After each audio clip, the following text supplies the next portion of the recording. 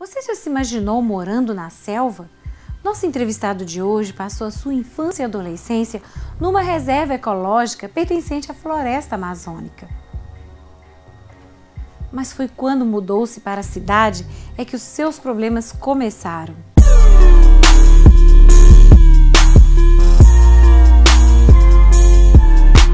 Ligado que nós somos seu amigo, não tá? Então, velho, você tem que curtir com a gente aqui, chapa. E eu, matutão da roça, né? Aí os meninos pegou e falou assim, não, fuma esse cigarro aqui pra você ver como é que você vai ficar bacana, você vai começar a dançar e tudo. Acusado de matuto pelos primos e querendo se livrar da timidez que atrapalhava na conquista das meninas, nosso entrevistado entra no caminho louco das drogas. Ah, Natalino! Ah! Você vai pegar ninguém não, senhor? Natalino? Natalino, hoje eu vou te apresentar um negocinho que você nunca experimentou na sua vida, Natalino. É hoje que nós vamos bombar, é hoje que você vai pegar a mulherada, Natalino. Hoje vamos conhecer a história de Natalino Vieira. Rapaz acanhado e complexado que buscou nas drogas um caminho de autoafirmação para viver em sociedade. Você já ouviu de pessoas que chegam a dizer que precisam beber ou se drogar para conseguir se relacionar bem com os outros? Será este mesmo o melhor caminho para vencer a timidez? Isso é o que vamos ver no programa que começa agora.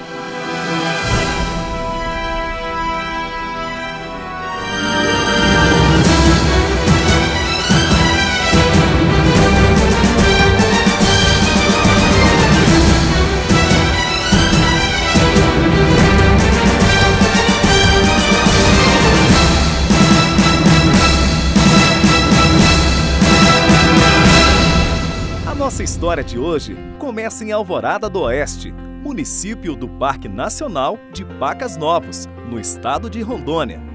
Natalino nunca havia saído da floresta. Em sua infância, mato e animais eram as únicas coisas que ele via. Seu vizinho mais próximo morava a meio dia de viagem.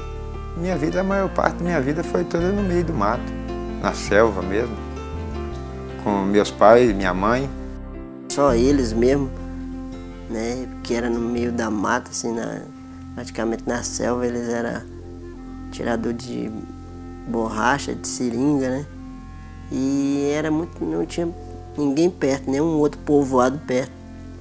Que o povoado da colônia mais perto era um dia, um dia de viagem. Ô pai, nós tá chegando já? Tá quieta, menino, logo logo chega. Oi, meu Será que eu vou gostar de lá? Como é que é lá? Ai, meu filho, vai sim. Seus primos estão tudo lá te Ah, esperando. Depois que eu cheguei, tem uma idade assim, mais ou menos de uns, uns 12, 14 anos, que aí eu vim conhecer o que que era a cidade. Nós mudamos, eu e meu pai, minha mãe, para o Presidente Médici, porque ali moravam os familiares do meu pai, meu avô, minha tia, e ali nós fomos sobrevivendo. O meu pai chegou a, a mencionar uma vez que se ele pegasse eu fumando, que ele fazia engolir a cadeia de cigarro. Esse é seu, esse aqui é meu, tá? Que isso, menino? Cigarro, tá vendo? Eu não falei com você? Quando você começasse a fumar, eu pensei que engolir todos os cigarros? Então faz, então. Quando você pedir cigarro aos outros, começar a pedir cigarro aos outros, você lembrar de coisa que eu te falei. Lá na casa do meu pai da minha mãe, em Aleira, se chegasse com um brinco na orelha, ou com tatuagem, ou com cigarro, chegasse com um brinco, ele falou que ia, cortava a orelha, né? Com cigarro, ele fazeria comer outro cigarro. A bebida eu comecei a beber por influência de primos, amigos, né? é, um riozinho lá que a gente ia tomar banho. Natalino, vai ficar só olhando, não vai beber não? Natalino, Natalino. Vai falar que lá na cidade de Simão você não tinha nada disso aqui não? Ô Natalino, deixa de ser bobo, só bebe só um tempo isso aqui, não tem nada a ver não? Ah, Natalino, não aguentou não, né? Seu bobo, vai lá, vai. As drogas não, as drogas já foi mais depois das festas, né? As baladas que tinha, que tinha uma danceteria lá. E aí veio a, a que foi, nós começamos a usar droga, foi aí.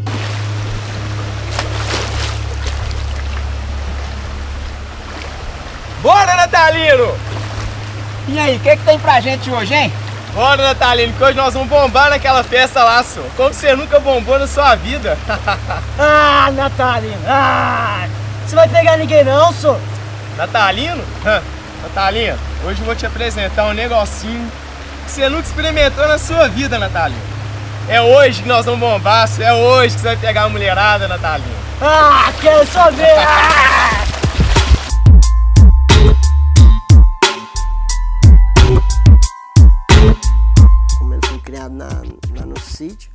Veio para a cidade, os meninos já eram tudo da cidade e já conhecia as baladas, as drogas, né?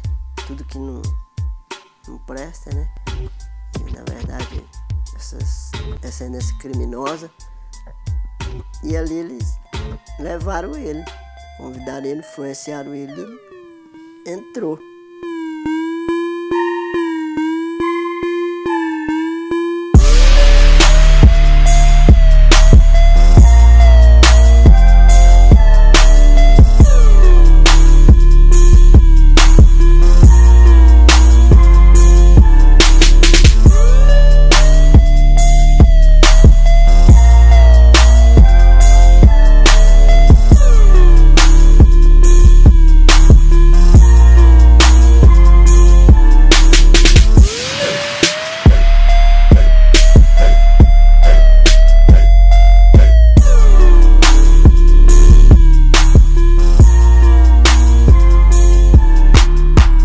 Nós somos seu amigo, não tá? Então, velho, você tem que curtir com a gente aqui, chapa. E eu, matutão da roça, né? Aí os meninos pegou e falou assim, não, fuma cigarro aqui pra você ver como é que você vai ficar bacana, você vai começar a dançar e tudo. E aí eu fui na pilha, né? Fui, fumei. E aí de ver, de ver eu ficar bacana, não, eu fiquei, foi lardão e não demorou nada, eu já tava cheirando cocaína.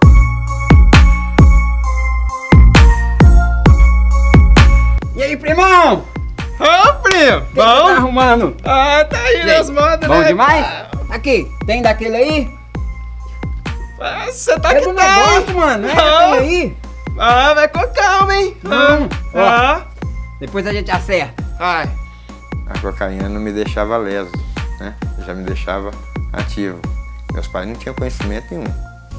Meus pais, aliás, nunca teve conhecimento. Vamos, vamos, vamos, gente. Daqui a pouco o pessoal chega aí e acaba com a festa. Vamos, vamos, vamos, vamos. Eu já cheguei a roubar a minha casa, a minha própria casa, para mim poder se alimentar do vício. Mãe, tá me ouvindo? Olha, roubaram a casa toda. Levaram as coisas mais de valor. Se eu, se eu liguei, não, vou ligar pra polícia, vou ligar. Não sei, mãe. As coisas, as, é, as coisas de valor. Levaram. Sempre foi bem reservado, né? Nunca deixou transparecer para que a família visse, né? Portanto, mesmo eu no mundo da malandragem, eu mesmo nunca notei nele, nunca, nunca deixou, né? Eu não sabia que ele usava droga.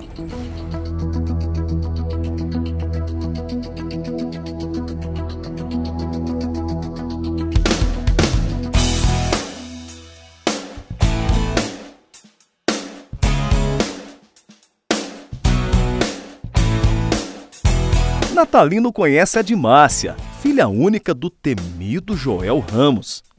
Entre uma conversa aqui, outro chamego dali, acontece o que eles menos queriam: a moça engravida.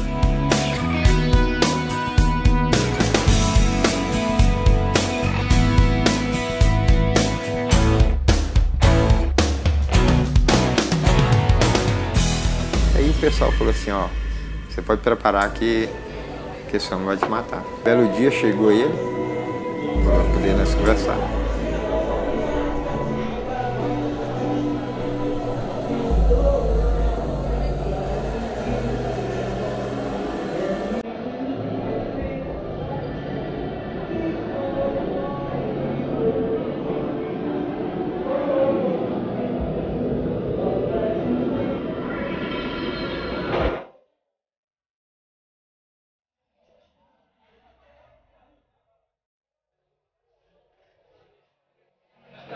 Frente, seu Joel.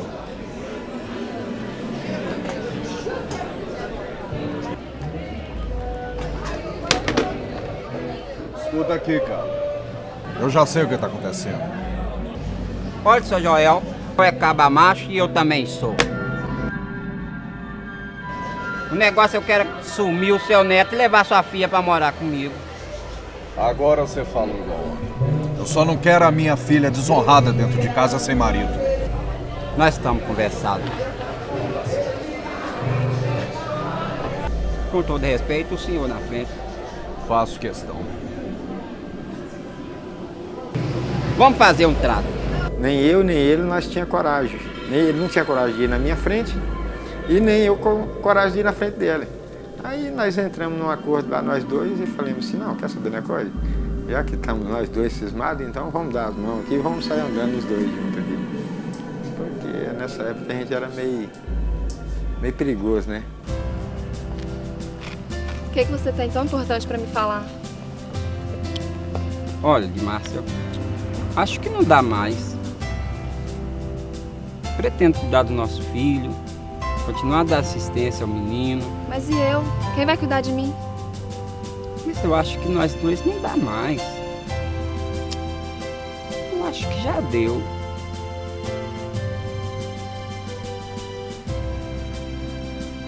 O time do Natalino foi deixado para trás.